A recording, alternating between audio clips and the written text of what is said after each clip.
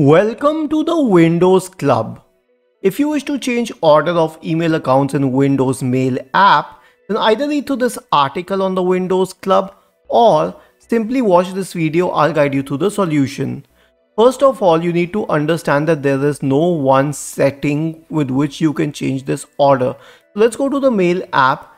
The only way to resolve the problem is to delete all the current email accounts associated with the Mail app and then add them back again. So I'll right click on the account, I'll select account settings and then I'll select this one which says remove this account from this device and are you sure you want to continue? Click on delete.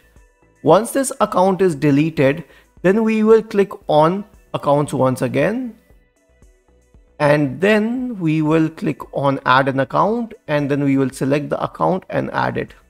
Just a minute i'll show you. This is the account and it will start creating the account. So this is how we will delete each and every account in the system from the mail app and then add it back again in the order in which we want to add.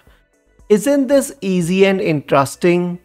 If you have any doubts please go to the original article on the windows club Scroll down to the comment section and write your query. We will surely answer to it. Do not forget to subscribe to the channel. Thank you for watching this video and have a nice day.